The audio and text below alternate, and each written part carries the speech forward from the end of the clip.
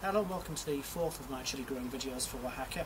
This one's all about taking care of your chili plants and making sure that none of the nasties happen to your chili plants that will basically ruin any of your hard work that you've done so far.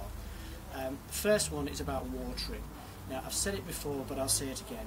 Don't overwater your chili plants, just keep the compost moist, not saturated. Because one of the easiest way to kill your chili plants is to overwater them or alternatively don't water them for ages and then hit them with a deluge of water. It will kill your chili plants stone dead and you just end up with dead chili plants and a lot of tears because you'll have ruined all the hard work that you've done so far.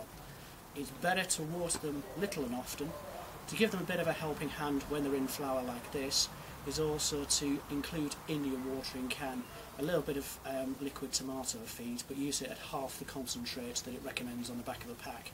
Or if you look on the internet, there's also specialist chili feeds out there as well that you can use. The second one is the enemy of the gardener, and it'll attack your chili plants as, as it'll attack any of your other plants. It's the slugs and snails. Now the only thing really that you can do with that is just keep checking your greenhouse or wherever you've got your chili plants every so often, getting rid of all the slugs and snails.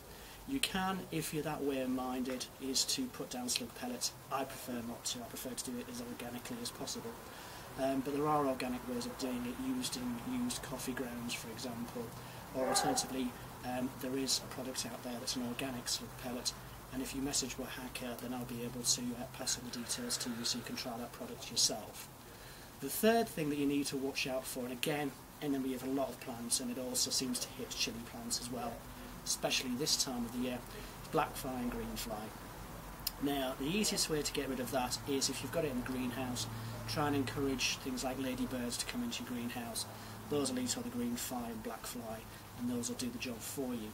If, however, you can't do that, or you've got your chili plants outside, another way of doing it, and again it's a little bit of a cheat, but it seems to work, is to get um, a watered down solution of washing up liquid, put it into a spray bottle, and spray the plants and leaves with that. Now, a couple of things you've got to make sure with that is that you don't use an antibacterial washing up liquid, just use a standard one if you can. And the second thing as well is that water your plants when it's cold or dark, um, not in direct sunlight, because all that will happen is that you'll scorch your plants and again, it'll kill your plants stone dead. So there we go, that's the three main things that can happen to your chili plants. It's not a comprehensive guide, but those are the three main things. So hopefully you'll get through all the nasties, and I'll see you on the next video um, to give you some more tips about how to grow your chilies. See you then, bye bye.